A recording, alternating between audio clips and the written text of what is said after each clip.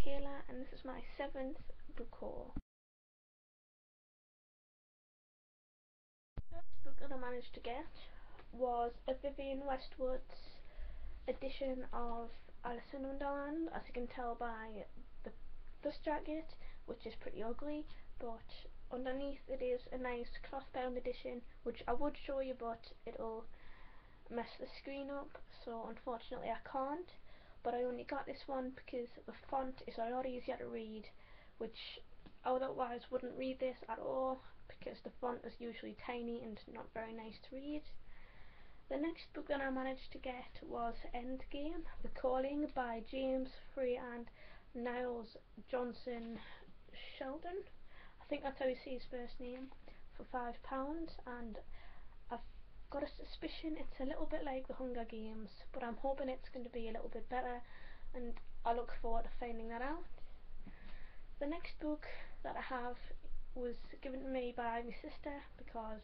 she had more than one copy of this book and she thought it would be a good place to start with Terry Pratchett and that is I Shall Wear Midnight and I do look forward to trying to get into Terry Pratchett's work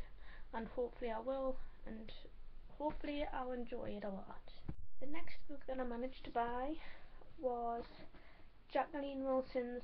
Sapphire by the Sea and I have no idea what this book's about but I've grown up with Jacqueline Wilson um, like when I was a kid so I look forward to seeing if this one's any good as well. The next one is part of a series but this one isn't the first book but I got it really cheap so that is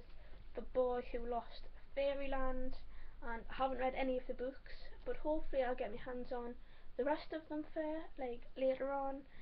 and then read this and hopefully I'll enjoy it. And the next book that I have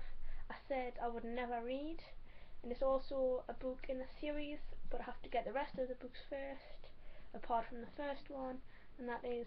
Clariel, Clariel by Garth Nix which was also really cheap for £2 when it's meant to be 15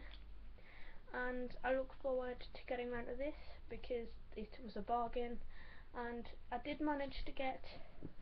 these three books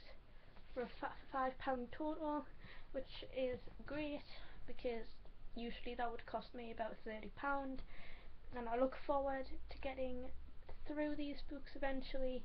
I hope you've enjoyed the video and thanks for watching